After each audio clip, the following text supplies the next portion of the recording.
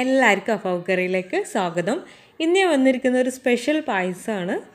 നമ്മൾ ഓണത്തിനൊക്കെ നല്ല വെറൈറ്റി ആയിട്ട് ഉണ്ടാക്കാൻ പറ്റിയ ഒരു പായസം. അതുപോലെ തന്നെ നമ്മളെ കുട്ടികൾക്കൊക്കെ ഇഷ്ടപ്പെടും. പിങ്ക് ബോൾ പായസമാണ്. കാണുമ്പോൾ തന്നെ ഒരു വെറൈറ്റി ഉണ്ട്. അതുപോലെ തന്നെ നല്ല ടേസ്റ്റാണ് ഈ പായസത്തിന്.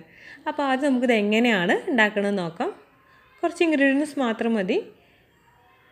ആദ്യം നമുക്കിതിന് വേണ്ട വേണ്ടത് ബീട്രൂട്ടാണ് ചെറിയ കഷ്ണങ്ങളാക്കി ഞാനൊന്ന് കട്ട് ചെയ്തെടുത്തിട്ടുണ്ട്. ഒരു വലിയ ബീട്രൂട്ടിന്റെ പകുതി.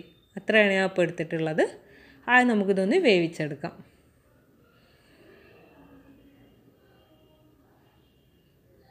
ഒരു പാത്രത്തിൽ രണ്ട് കപ്പ് വെള്ളം ഒഴിച്ചിട്ട് ഈ ബീട്രൂട്ട് ഒന്ന് വേവിച്ചെടുക്കാം ഈ ഒരു വെള്ളത്തിലാണ് ചവ്വരി അല്ലെങ്കിൽ നമ്മൾ സാബൂനരി ഇട്ട് വേവിച്ചെടുക്കേണ്ടത്. അപ്പോൾ അധികം കുറച്ചധികം വെള്ളം എടുത്തിട്ട് വേണം ഈ ബീട്രൂട്ട് ഒന്ന് വേവിച്ചെടുക്കാൻ. നല്ല വെന്തുടയേണ്ട കാര്യമൊന്നുമില്ല. ജസ്റ്റ് ഒന്ന് ബീട്രൂട്ട് ഒന്ന് വെന്താൽ മതി.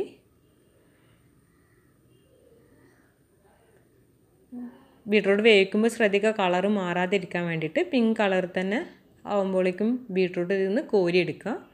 അത്യാവശ്യം ബീട്രൂട്ട് വെന്തിട്ടുണ്ട്. ബീട്രൂട്ട് കഷ്ണങ്ങൾ ഇനി ഒന്ന് തണുക്കാൻ വെക്കാം. ഇതിന്റെ ജ്യൂസ് നമുക്ക് ആവശ്യമുണ്ട്. നല്ല കളറുണ്ട് ഇപ്പോൾ തന്നെ. ഈ ഒരു വെള്ളത്തിലാണ് ചൗവരി അല്ലെങ്കിൽ സാബുവനായിട്ട് നമുക്ക് വേവിച്ചെടുക്കേണ്ടത്.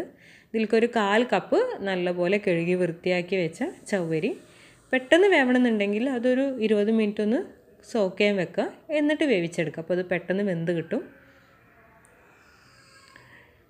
ഈ ഒരു വെള്ളത്തിൽ പകുതി വേവാവുന്നത് വരെ ചൗവരി ഒന്ന് വേവിച്ചെടുക്കുക.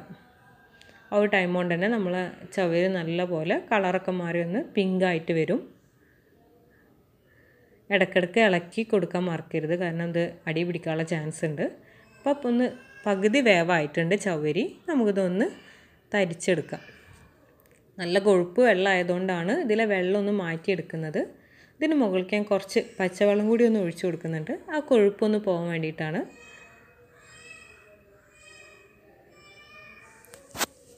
ഇളക്കി കൊടുക്കുക ആ കൊഴുപ്പൊക്കെ ഒന്ന് പോകണം നമ്മൾ നേരത്തെ ഒന്ന് തണുക്കാൻ വെച്ചിരിക്കുന്ന ബീട്രൂട്ട് കഷ്ണങ്ങളൊന്ന് അടിച്ചെടുത്തിട്ട് ജ്യൂസാക്കി എടുക്കണം. ഈ ജ്യൂസ് നമുക്ക് ലാസ്റ്റ് ഇതിലേക്ക് ആവശ്യമുണ്ട്. നമ്മൾ പായസത്തിന് പിങ്ക് കളർ കൊടുക്കുന്നത് ഈ ഒരു ജ്യൂസാണ് ബീട്രൂട്ടിന്റെ. നല്ല പോലെ ഒന്ന് ഒന്ന് അടിച്ചെടുക്കാം അത്യാവശ്യം നല്ല പോലെ വേണമെന്നുണ്ടെങ്കിൽ കുറച്ച് വെള്ളം ഒഴിക്കുക. പേസ്റ്റ് രൂപത്തിലാക്കി എടുത്തിട്ടുണ്ട്. ഇത് നമുക്ക് നല്ല തരിപ്പിൽ കൂടെ ഒന്ന് അരിച്ചെടുക്കണം.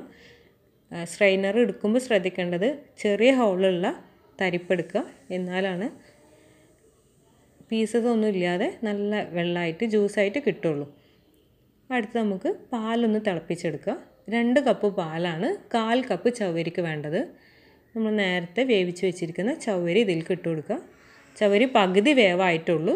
നമ്മൾ ഫുൾ കുക്ക് ചെയ്യുന്നത് ഈ പാലിൽ ഇട്ടിട്ടാണ് ബാക്കി നമ്മൾ വേവിച്ചെടുക്കുന്നത്.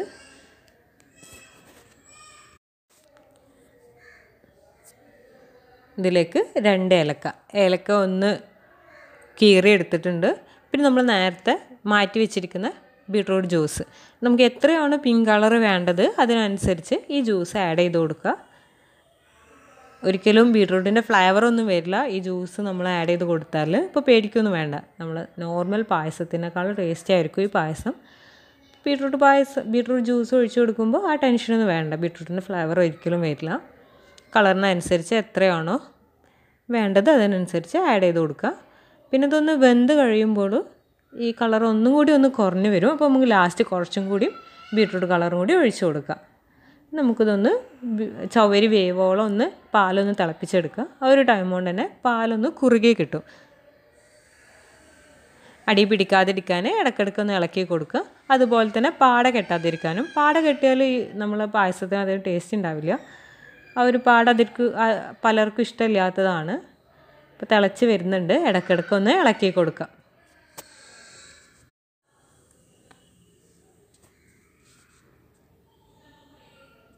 അത്യാവശ്യം നല്ല പോലെ അത് കുറുകി വന്നിട്ടുണ്ട്. ചവരി ഒന്ന് വേവാനും തുടങ്ങിയിട്ടുണ്ട്. പാട കെട്ടാതിരിക്കാൻ ശ്രദ്ധിക്കുക ഈ ഒരു പിങ്ക് കളർ പാട് പായസം ആയതുകൊണ്ട് തന്നെ പാട കെട്ടുമ്പോൾ അത് പെട്ടെന്ന് കാണും. ഇപ്പോൾ പാട കെട്ടാതിരിക്കാൻ നോക്കണം കേട്ടോ. ചവര് നല്ല പോലെ ഇപ്പോൾ വെന്തിട്ടുണ്ട്. ഇടയ്ക്കിടയ്ക്ക് ഒന്ന് നോക്കുക ചവരി വെന്തിട്ടുണ്ടോ എന്നുള്ളത്. ചവരി വെന്തതിന് ശേഷം നമുക്കൊരു അഞ്ച് മുതൽ എട്ട് ടേബിൾ സ്പൂൺ വരെ കണ്ടൻസ്ഡ് മിൽക്ക് നമ്മൾ മധുരത്തിനനുസരിച്ച് എത്രയാണോ വേണ്ടത് അത് ആഡ് ചെയ്ത് കൊടുക്കുക. നോക്കിയിട്ട് എത്രയാണോ മധുരം വേണ്ടത്. ഇനി പഞ്ചസാര വേണമെങ്കിൽ നമുക്കിതിന് പകരം ഇട്ട് കൊടുക്കുക അല്ലെങ്കിൽ പകുതി മിൽക്ക് മെയ്ഡ് പകുതി പഞ്ചസാര അങ്ങനെയും ചെയ്യാം കേട്ടോ. നിങ്ങളെ ഇഷ്ടാനുസരണം എന്താണോ വേണ്ടത് ചെയ്യുക. ഇനി ഞാൻ ഒരു എട്ട് ടേബിൾ സ്പൂണ് കണ്ടൻസർ മിൽക്കാണ് ഈ ഒരു പായസത്തേക്ക് ഒഴിച്ചു കൊടുക്കുന്നത്. മധുരം നോക്കിയിട്ടാണ്. അത് വേണ്ടെങ്കിൽ കുറക്കാം കേട്ടോ.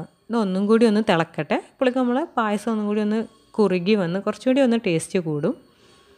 ശ്രദ്ധിക്കുക ഇടയ്ക്കിടയ്ക്ക് ഒന്ന് ഇളക്കി കൊടുക്കാൻ മറക്കരുത്. തിളച്ച് നല്ല പോലെ തിളക്കാൻ തുടങ്ങിയിട്ടുണ്ട്.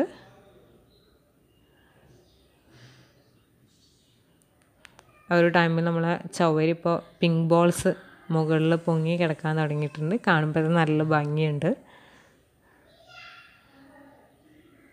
അത്യാവശ്യം നല്ല തിക്കായി വന്നിട്ടുണ്ട് പായസം. ഈ ഒരു കളറ് കുറച്ചും കൂടി ഒന്ന് കളർ കൂട്ടാൻ വേണ്ടിയിട്ട് ഒരു രണ്ട് മൂന്ന് ടേബിൾ സ്പൂൺ കൂടി നമ്മൾ നേരത്തെ ഉണ്ടാക്കി വെച്ചിരിക്കുന്ന ബീട്രൂട്ടിന്റെ ജ്യൂസ് ഒഴിച്ചു കൊടുക്കുന്നുണ്ട്. അത്യാവശ്യം ചൂടുണ്ട്. ഈ ചൂട് കൊടുക്കുന്ന ഈ ജ്യൂസ് ഒഴിച്ചു കൊടുത്താലൊന്നും പായസം പിരിയൊന്നുമില്ല. അപ്പോൾ ആരും അത് പേടിക്കേണ്ട കാര്യമില്ല.